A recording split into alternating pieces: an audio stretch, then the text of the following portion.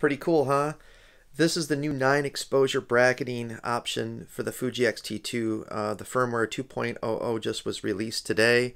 It's a really cool feature. I, um, I kind of miss the multi-bracketing shots available by my Sony camera, where the Fuji X-T2 before this upgrade only let you do let you do three bracketing shots.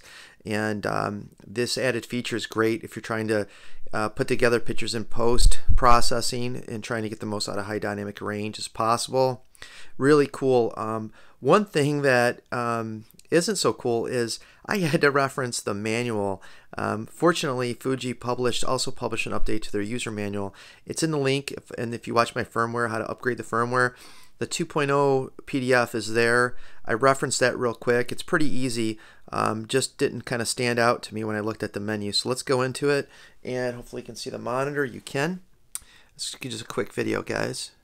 Menu and I'm going to go into the camera option which is shooting settings drive settings. Now you have to if you can see it on the camera but you have to switch your mode to the the bracketing the BKT mode uh, on your camera.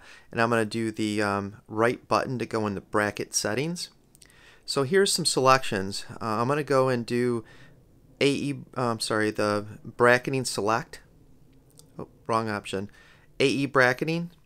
Now, this is a part I didn't kind of understand at first. I'm going to go into frame step settings. I'm going to go over into that option. And this is where the menu lets you take, I'm going to go nine frames, but you can choose anywhere from, uh, I don't know if the, the least is two all the way up to nine. And one stop. that means exposures. So I have a total of nine exposures and it's going a step of each. You can, you can adjust this um, however you want to do it, but uh, it's pretty cool.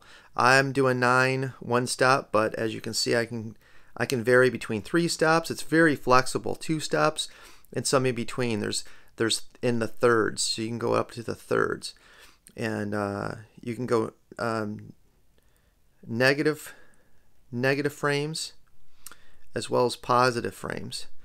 And I don't know if you can see the um, the exposure, how it's expanding um, on the bottom of the screen here.